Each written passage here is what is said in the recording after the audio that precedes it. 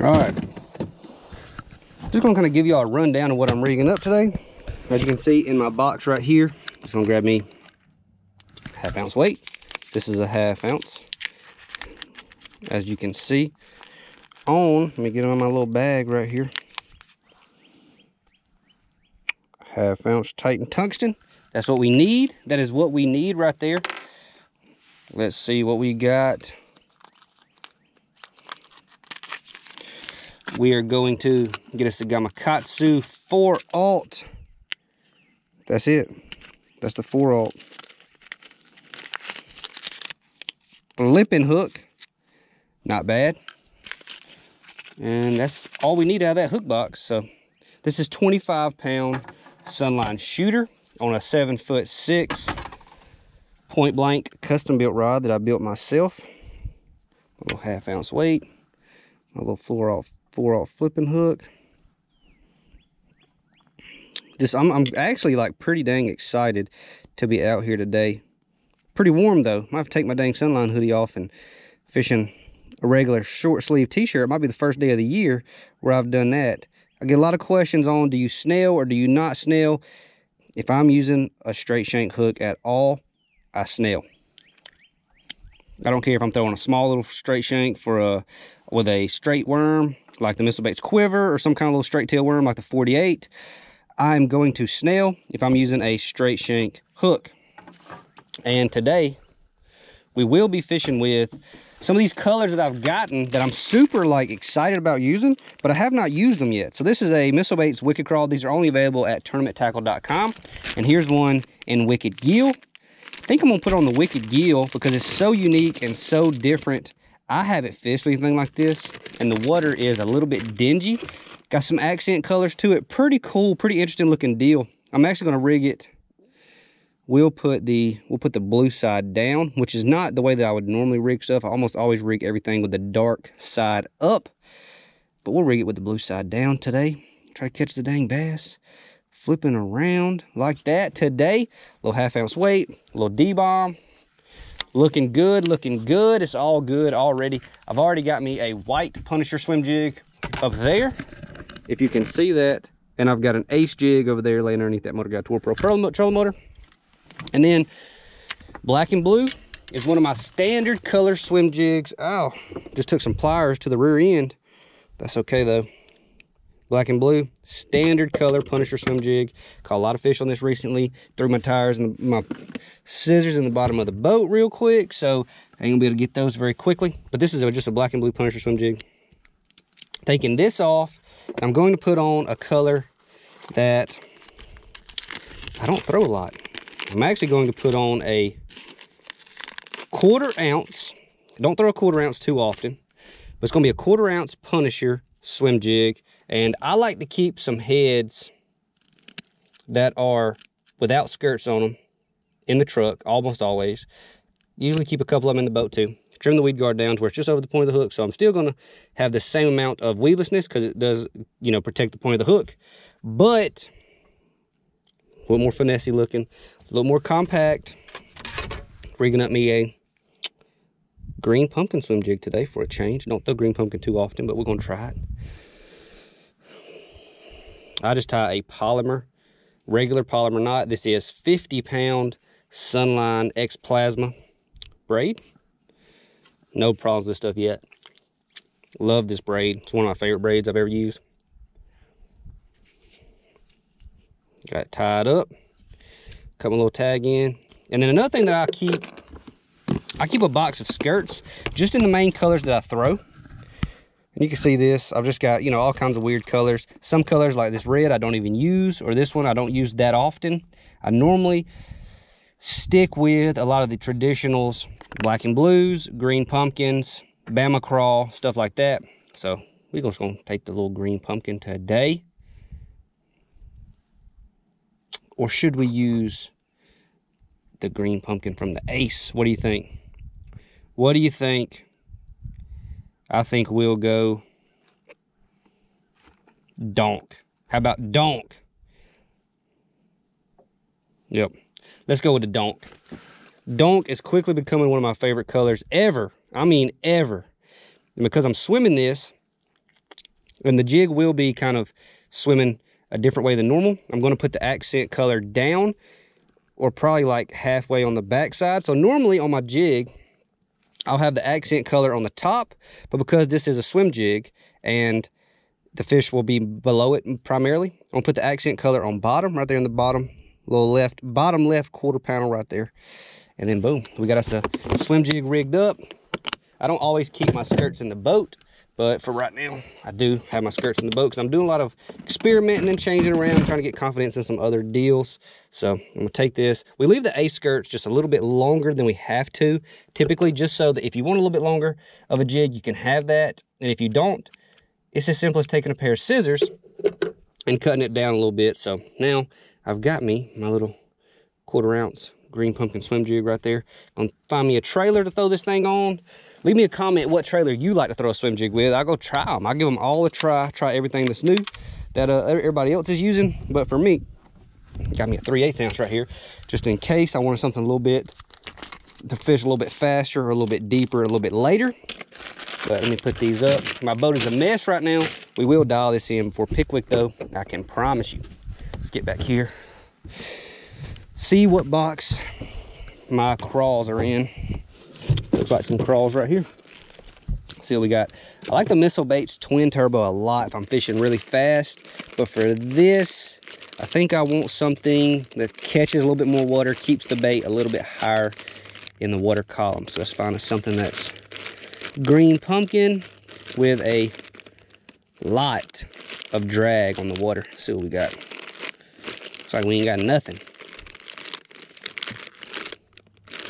Looks like we ain't got nothing. As far as the green pumpkins go. Back to the truck.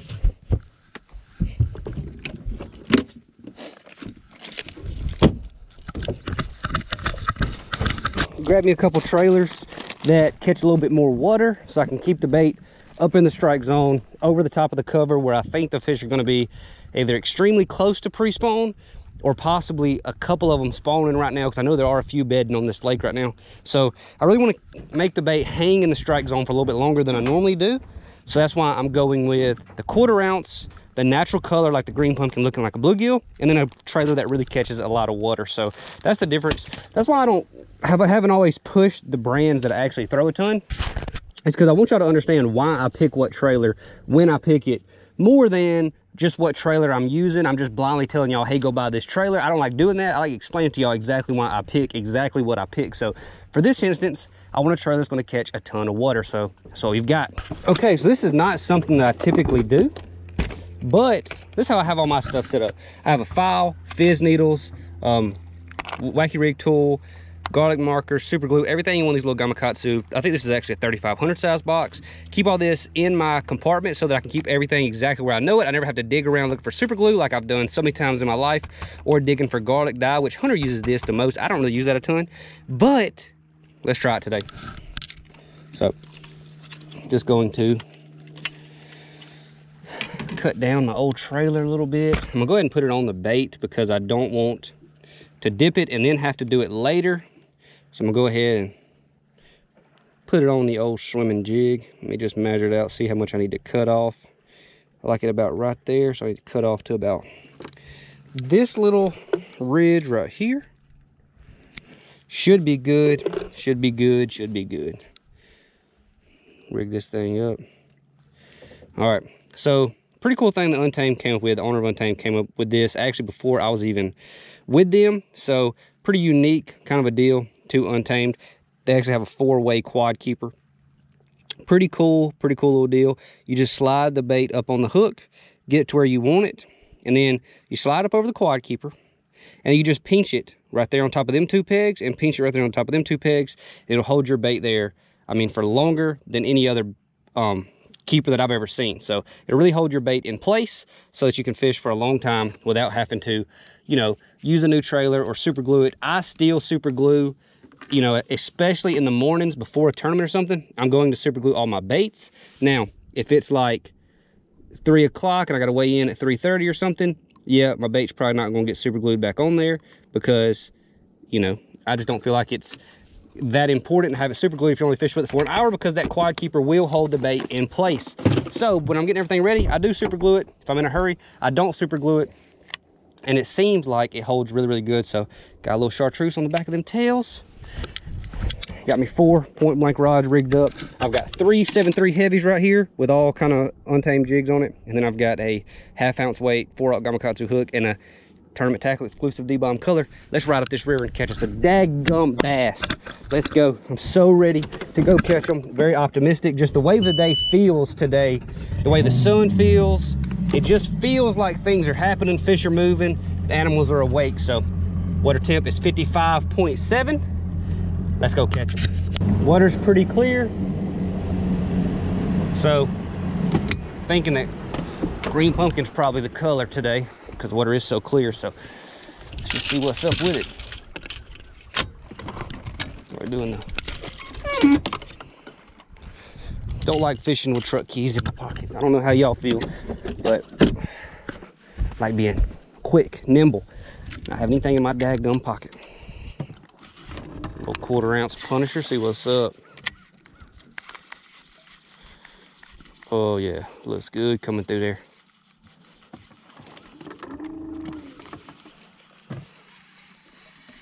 Yes, sir. Looks bluegilly to me. Looks bluegilly to me.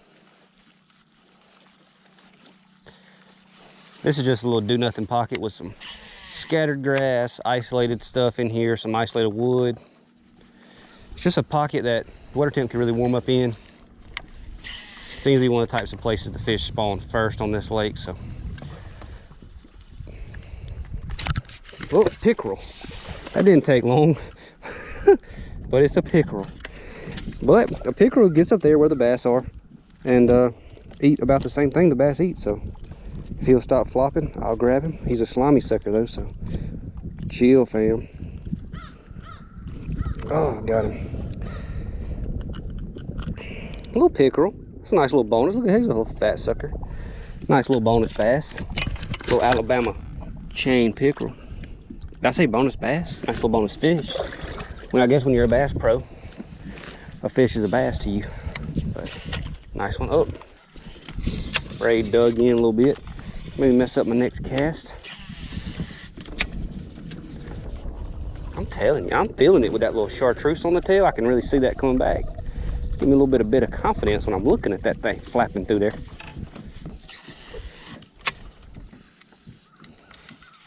Oh yeah, this is looking good. Oh yeah.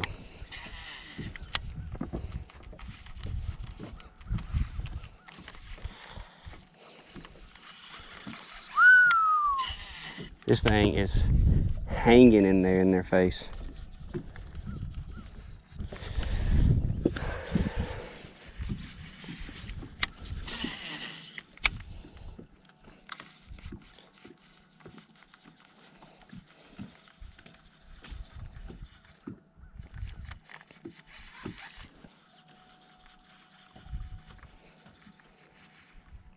Oh, I had one come out. He's still sitting there. I see him. Is that another pickerel? Another pickerel. I think I saw him come out and eat at it and he was still suspended right there in the in the little stalk of the reeds, water willows, whatever you want to call them. On the old pickerel pattern today. So with that? So with that, fam? Oh, tangled up.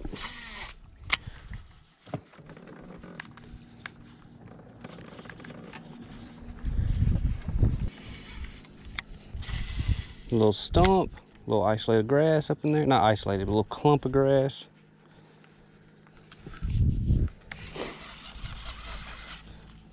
Mmm, ought to be one coming out of some of this. It's good looking clumpy grass. Mmm, should have busted one through here somewhere. Just up here cruising around. Water temp back in here, 57. Just trying to play I Spy with a big old female, you know? Oh looks like a little bed right there, but it's hard to tell sometimes.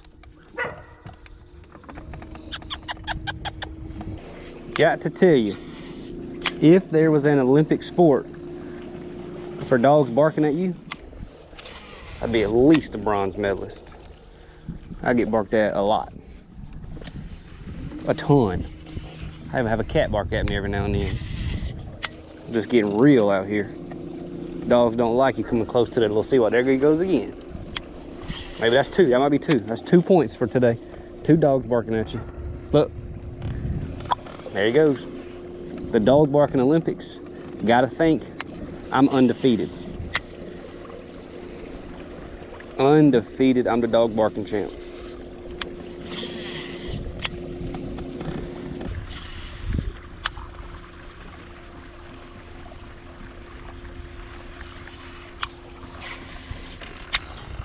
I ain't feeling it.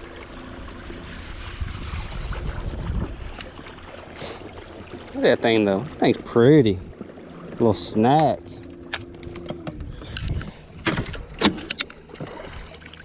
This little spot looks pretty dang good. Got some clumpy grass. Got some current right there. And this is just out of the current. Got a lot of stuff washed up on it though, which is usually not good. It's just not super clean. That one didn't care. Oh man, he came from a long way to get it. God dog. Damn, it was just a two pounder, but man, he came from a long way to get it. Mm. Just didn't get it good. I guess he probably had this chunk, this trailer.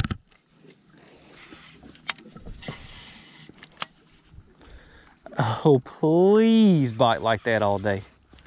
Please bite like that today. Check out this little Punisher jig. Big old hook in there, sticks up way past the hook eye. Yeah, it ain't the jig's fault, I promise you that. That sucker just didn't get it, because when they get it, you don't miss them on this thing. It's really probably my fault. I just didn't give them quite long enough. Can't help it, y'all. I like setting the dadgum hook, especially when I watch them eat it. So get a little jumpy sometimes. Just get a little jumpy sometimes. It's okay. We all do it, and if you don't do it, you're lying. There's two types of people. People who tell you they set the hook too early, and people that lie about it. Man, ain't really happening. Ain't really happening. Seemed like it was gonna be. But it ain't. Two bites by bass, two bites by pickerel. And we just died. So like that SpongeBob thing where it's like two hours later.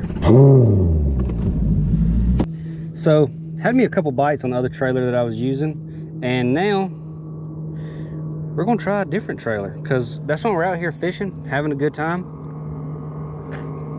I like to be able to try whatever I want to try, you know? So, see, should I cut this down a little bit? I think I am. Never done this before with this trailer, but I'm actually gonna cut it down just a hair shorten him up a little bit and see what happens. I'm gonna Powerpole down before I run over this tree because I do want to catch me one flipping on this tree though. So I'm just gonna run him down straight out the other side.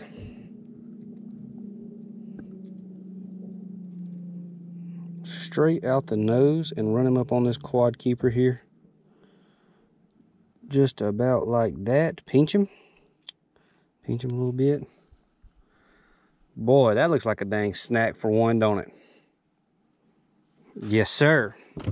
And I'm gonna chartreuse him up a little bit too, because chartreuse him up on the last one, last little trailer I had, put a little chartreuse on there, and I can really see my bait coming back to me a little bit better.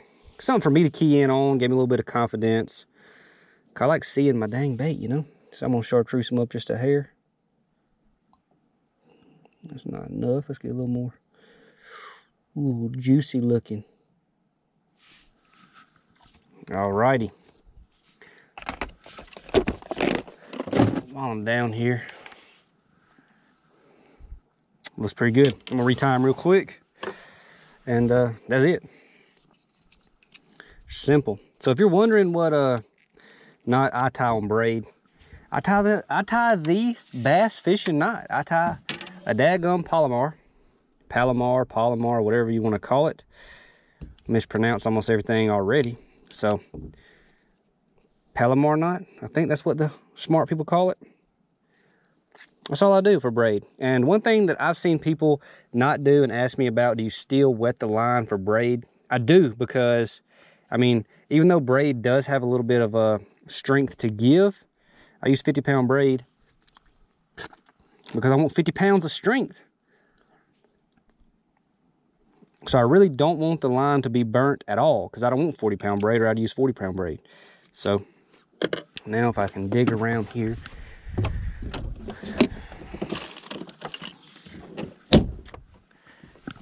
All right.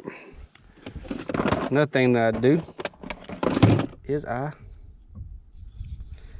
burn the tag in. Now that tag in will not fray. Back in my little equipment box. And we're ready to catch a bunch of bass on this thing. Tell me that don't look good. That old tree right there. Nothing around it. That's all they got. If there's a fish around here, all he's got is this little tree. So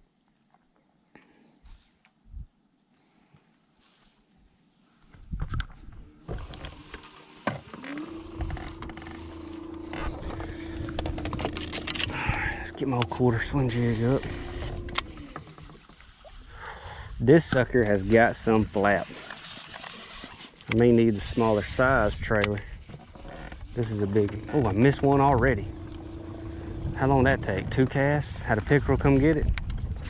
what's the deal with all the pickerel today? There's a bunch of them. I guess the pickerel spawning. But Dims is up there. Them things is up there.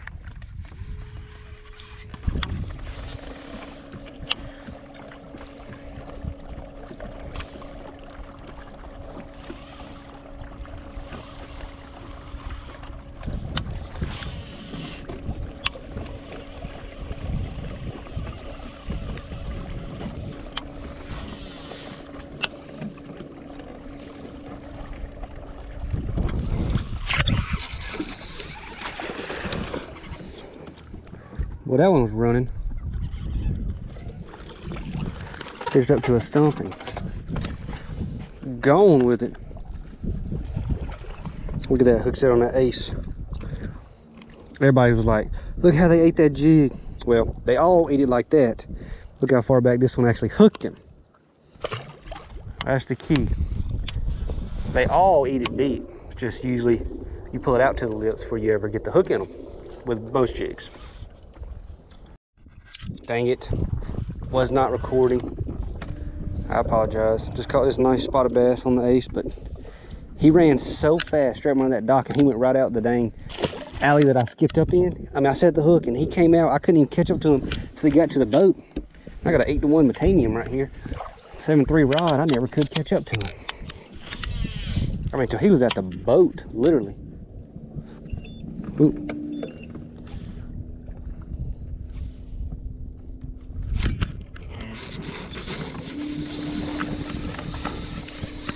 Got another one under there. Spotted bass one cast, largemouth the next.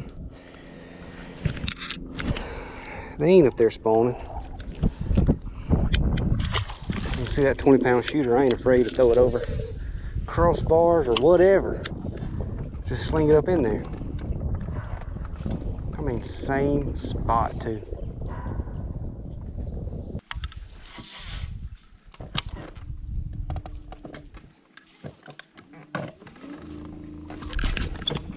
Oh man.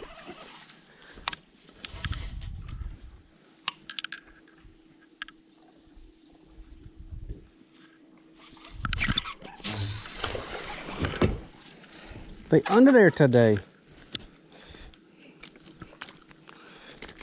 They under there today. Little one with messed up lip. That's why I missed him the first time probably. He got a weird mouth. Got him on round two though. We'll rig me up another, another little ace jig. Get my skirts. Take a look. We're gonna go with pure green pumpkin this time. I'm gonna throw these extra heads in this skirt box. Even though that ain't where they go. Y'all don't tell Hunter I put stuff out of order. She, she likes a little order in her life. Can't blame her. Cannot blame her. So I always put the skirts on. Myself, just so I can mix and match and kind of get what I want. I keep some in here already made up. But I also just have a couple that I can do myself. If I decide that's the route I want to take, I can kind of customize it a little bit more. Cutting this thing down super small. I actually also trimmed the weed guard a little.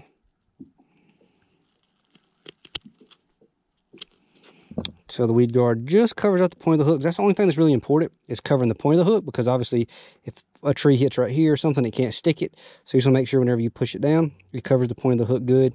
And then I got a little bitty snack. But I can set the hook hard because it do have a big hook in it. And we can catch us a bass or two. I'm just putting on a chunk style trailer.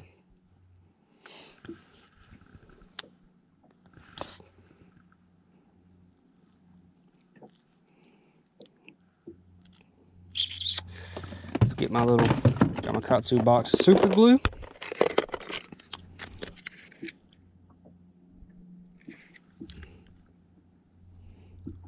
Quad keeper does an awesome job.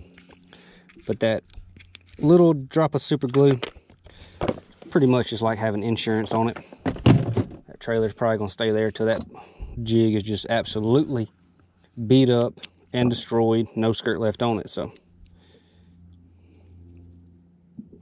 It's a team effort between the quad keeper and the super glue. Well, that's not how you tie a bait on. Run your line through, run it back through, then drop your ace jig off the line and start over. On the back of a shampoo bottle, just do that until you need to repeat it. Did it again, dropped it again. That time the skirt was looking out for me and got tangled up. Appreciate that skirt. Double Pitzen knot. Three tag ends. But it is a very, very strong knot. And boom. Ready to rock and roll. Little green pumpkin thing, dude. Looks like a little snack for them, don't it?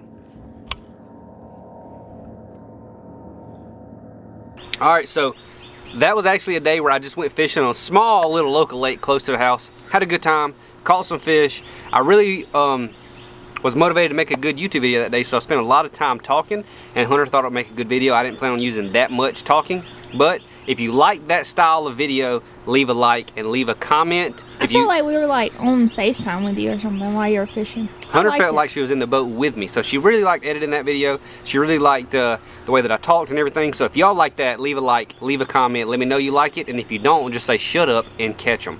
So I appreciate y'all guys watching. Hit the subscribe button, leave a like, leave a comment, turn the alerts on because we are right now in Florence, Alabama, getting ready for Pickwick, which is coming up next. You don't want to miss it, so go ahead and subscribe.